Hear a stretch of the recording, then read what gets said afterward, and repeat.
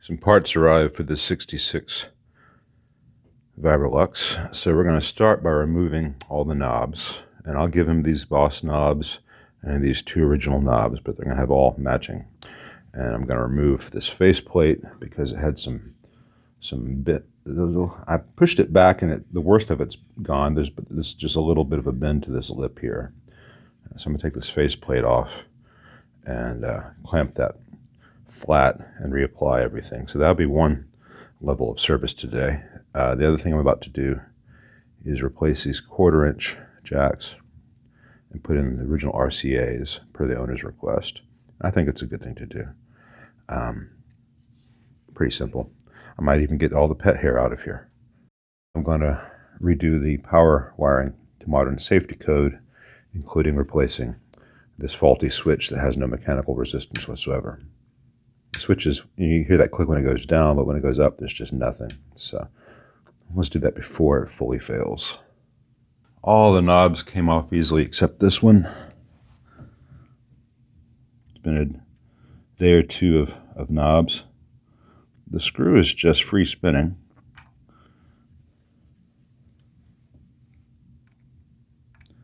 I wonder if they glued this on too. There's some funk in the slot. All right, let's see if this knob puller can get any traction. See, it doesn't want to fit beneath the knob.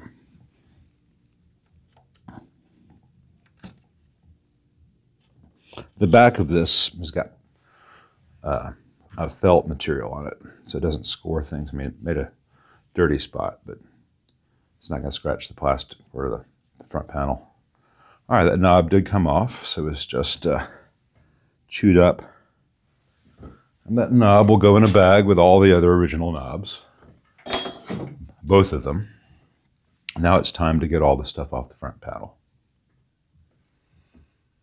All right, before I just start doing this, I want to make sure that none of these screws have got gunk in the Phillips slots. They almost always do. And that's a good way to chew up a screw head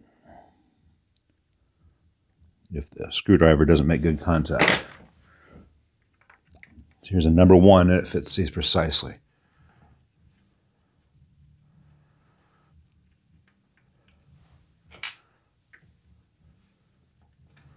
Faster with the power tool, but uh, I prefer to have a tactile sense of what's happening, just in case there's anything wrong.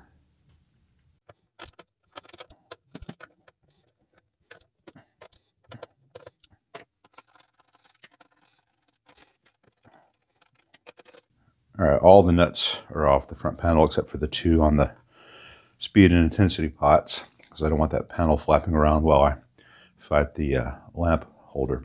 So I've got all these nuts and some WD-40 along with the set screws and uh, board nuts from that 69 Laney. So I'm just going to let this stuff kind of soak for a bit. And I'm waiting for the WD-40 to loosen up that front lamp holder. So I think I'll go ahead and get started on the rear quarter inch jacks. We're going to put, change back to RCAs while that WD-40 does its thing on the lamp assembly. Well, hopefully this will let everyone see what I'm doing without being in my way. So the easy one is just going to be the vibrato.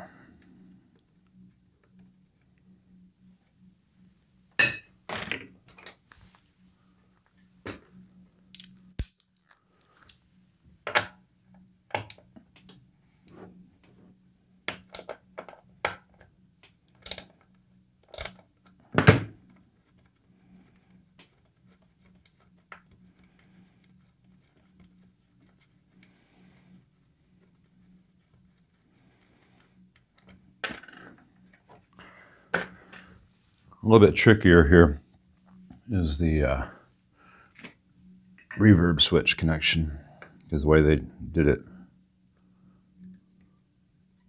I may need to replace that 220K. In fact, I think that'll be by far the easier way to do it because this is not the original lead and this has all been boogered up. So Let's see if I can do this without damaging the wire here. You don't want to melt the insulation. Okay, that old solder needs some help to, flow again.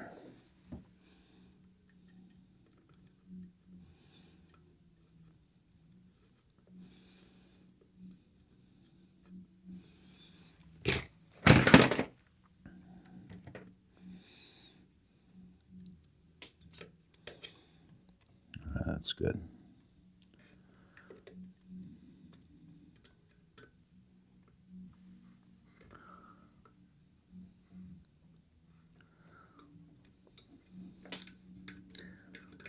Come on. Well, I think I will just do like Caesar. Was it Caesar Alexander with Gordian knot? I'm ashamed to have forgotten.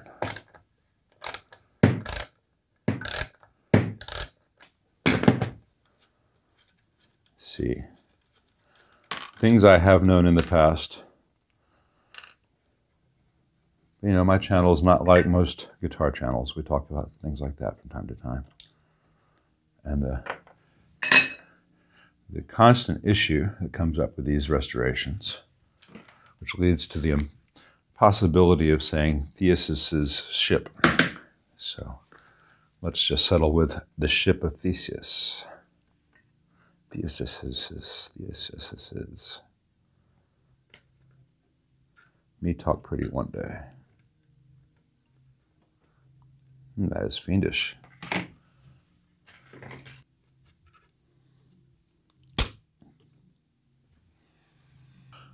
All right. First thing I want to do at this point is clean this these bits of the chassis here. Put a little bit of deoxit on paper towel for that. This stuff is expensive per ounce, so yeah. And I'm to give all this rear panel a little bit of a cleaning as well. For the rear panels on fenders, I find that WD-40 does a really nice job of cleaning things up without affecting anything you don't want affected. And then I'll get a little bit of deoxit on the RCA connections that go to the reverb tank while I'm at it. Some of this is not necessary, but while I'm in the area, it only takes a minute and makes the entire ownership experience that much nicer when everything's just that much shinier and pretty and cared for. I'm not trying to fake it to be new, just nicer. All right.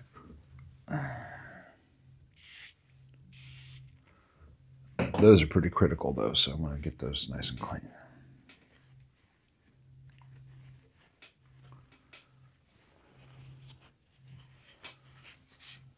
All right, now I've got the new RCA jacks, and somewhere in this vicinity I've got a bag. Somewhere in this vicinity I've got a bag of 3 8 inch tooth washers. Here they are. So I'm gonna need at least two of these, probably four to get the depth. Let's see how it does with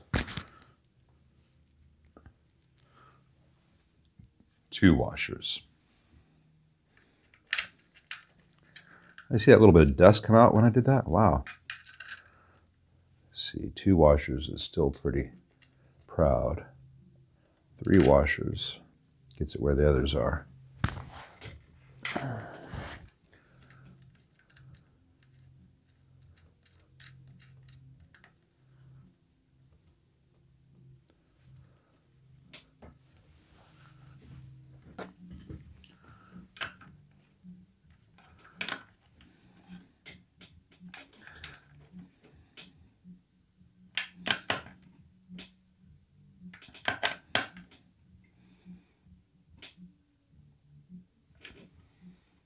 Make sure the old ones are tight too. They were not. That one was. That's good. Let me check the speaker jacks while I'm here.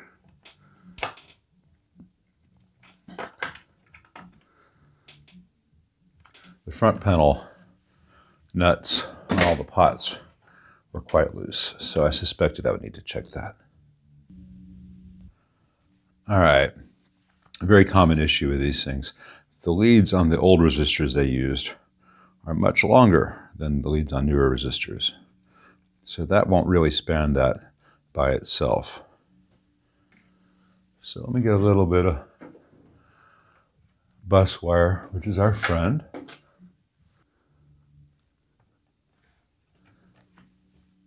This will actually be better built than the original, though it takes longer because I don't have the extra length of that old resistor lead. Now, there's that, and I could do this like this, which is how the old ones are done, but that gives me very little room to get the wire in here. I guess I could put the wire in here. It makes more sense to me to do it right here. So, rugged, reliable, sounds great. These are the things I'm chasing for this. I'll make sure that solder doesn't flow back too far into the jack because it can interrupt, uh, impede the new plug from going in. But I think we'll be okay here.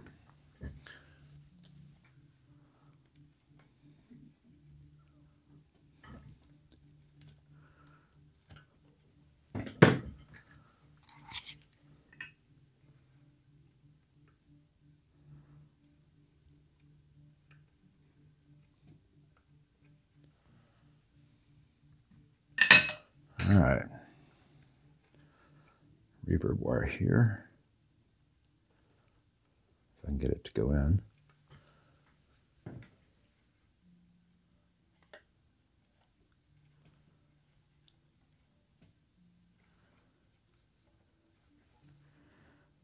originally it was just tucked in. I'm going to give it a little bit of an angle there.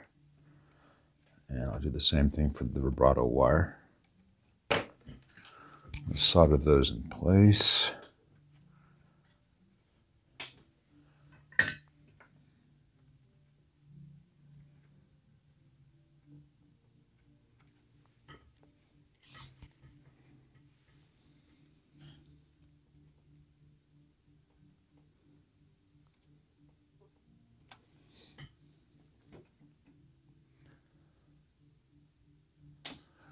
That all looks quite good A little bit excess here.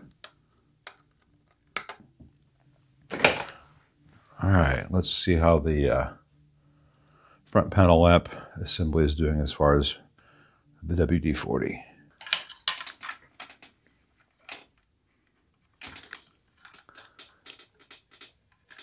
All right, good.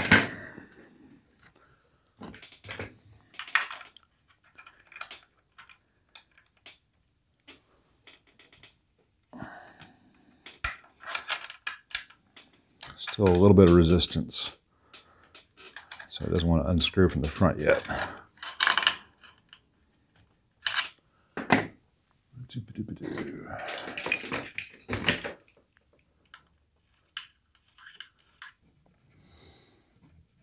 Whatever impacted the front panel that bent that lip up probably put some pressure on this. But I'll be cleaning these threads in the WD-40 solution with everything else. Let me get the jewel itself off. Let me get these last two pot nuts off. Ah.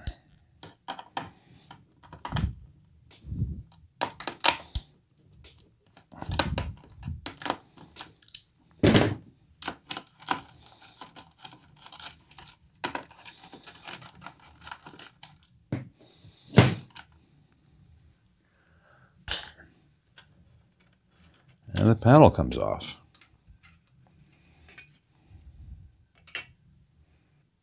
So I'll be cleaning it And all these little dents that it's gotten over the years, I'll try to clamp them out. That one's the worst one, and that's one, the one that made me want to pull the panel. So, not going to show that because uh, it's really not something to put on a video. It's not really exciting. I've got two sheets of, of flat steel, and I put uh, this between the two sheets of flat steel with a little bit of paper towel protecting the, the finished surface from the steel plate. And I've got some C-clamps and I clamp those steel plates together and I can do it in targeted areas and just kind of make everything go much more flat again. This is a very, very thin metal and it, uh, it usually comes out, if not perfect, a hell of a lot better. So uh, I'm going to clean this first, I let it dry, and then clamp it out, and then we'll see where we're at. All right, it's all cleaned up, straightened out, all the little kinks and bends. Certainly improved dramatically. It's not a thousand percent straight, but once it's on the panel, once it's on the chassis, it should look good. And I cleaned the front part of the chassis. And I cleaned the contact points on the RAS uh, control panel. And uh, I'll put everything back now and uh, see how it looks.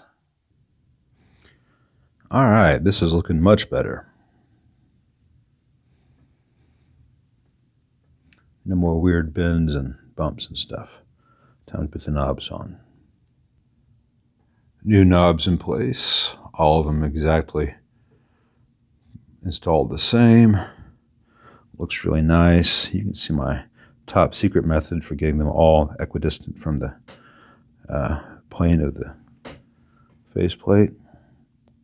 Let's go on to the uh, power stuff. To recap for those who didn't see the first video on this, we've got the hot and the neutral.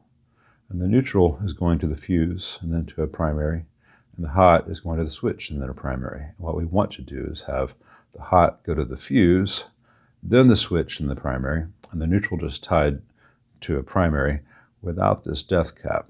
So I'm going to uh, just let this be the before and I'll show the after because what I'm doing is fairly simple, just moving some wires around. Uh, I'm going to make sure that the ground wire is longer than the hot and negative. So if uh, the cable were to be pulled out, the ground would break last. So if the hot broke free and touched the chassis, rather than make the chassis live, it would just trip the circuit breaker in the house or wherever you're playing. So you don't get electrocuted because if there was live voltage on the chassis and you, you're plugged in and you're touching your guitar strings, there's live voltage on you. So let me get started and I'll show the after finishing up the uh, changes to the power stuff, and I thought I'd take the time to show a pet peeve of mine. I have to replace this power switch, and I see a lot of guys install power switches in amps in general, particularly Fenders, like this. They'll just put the nut on there and be done. No, this is the original position of the standby, and the original power matched that exactly. So we're going to do that ourselves. And for those of you who don't know how the world works, you adjust this nut on the back to set the depth, and then the nut on front tightens things up.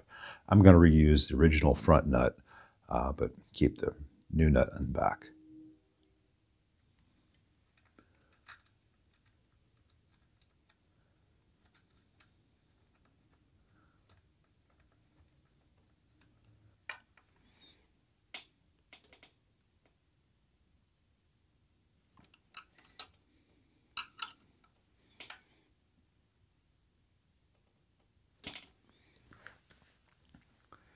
Viola.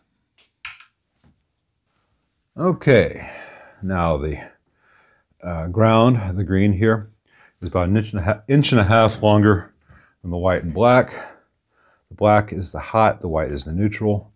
They're twisted and shaped away from the rectifier stuff. So the positive, the, the hot, the black, goes straight to the inside connection on the fuse. The fuse goes to the new power switch and to one of the primaries. The white, the neutral, goes here where the other primary is, and these connections on the switch are disconnected, and the death cap, the polarity cap is gone. Uh, so the next and last things to do on the chassis are to install those voltage balance resistors here on the series caps and to do something about this messed up mounting hardware on the output transformer. So I think I'm to do this real fast and take out the crappy hardware that's there now, bend these flanges flush, you know, get them all nice, and reinforce that with some uh, uh, stainless steel washers and get some real good hardware connections on there so this will no longer have the wiggles and wobbles. All right, what's happened here is the old screw, which is just a sheet metal screw going into the chassis, stripped as they do, and someone drilled out the hole to get so that they could put a machine screw through here, as is you know proper. But they drilled that hole out a bit oversized, and uh, the flange just went down into that metal. And if you see this on this flat surface, you see how bent that flange is. So I'm going to try on both sides to get this thing on a, on a level. And uh, at that point, I'll reinforce everything with some small uh, fender washers and get this built up strong. Let's see how I do. Okay, I was able to get these flanges more or less straight, and the little divot where the hole in the, in the flange was puckered down has been uh, straightened and, and clamped it out. It's almost all in the same plane. So beneath here, there's a stainless steel washer between the chassis and the flange. And the, the diam inner diameter of that washer is smaller than the inner diameter of the hole in the chassis and the uh, hole in the flange, which means that the metal in the flange doesn't just get sucked down and pushed down into that hole in the chassis. And then another stainless steel washer up top and those two washers together keep this from deforming anymore and spread the load out. Um, there's a greater surface area. And then there's a split washer here, a compression washer, so this thing will not want to ever vibrate loose. And uh, stainless steel on all this. On the other side, there are some new KEPS nuts, and it's all cranked down very solid and no more wobble on the transformer. That wobble is actually the table that everything's sitting on.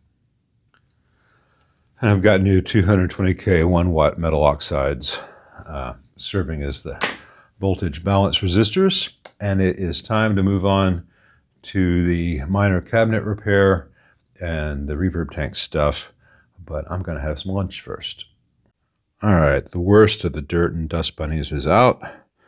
The reverb tank is secured back to the backer board. It is uh, correctly oriented with the springs down and the jacks on the speaker side of things. It's got new reverb cables connected, uh, screws at each end securing the bag to the cabinet, and the reverb wires are going very neatly through these two holders. Just enough slack to be able to reconnect to the chassis when it's back in place. All the uh, cabinet screws through the cleats were checked. They are all tight. All the speaker nuts are tight, not cranked down as tight as they can be, because that's how you get problems, but you don't want to deform the frame or damage the wood, but they are not going to vibrate loose, and none of the screws are backed out into the grill cloth on the other side. So I'm waiting for this glued and clamped cleat to set up about another 30 minutes. And then I'll make sure that all this is sounding good and I'll put the rear bottom panel back.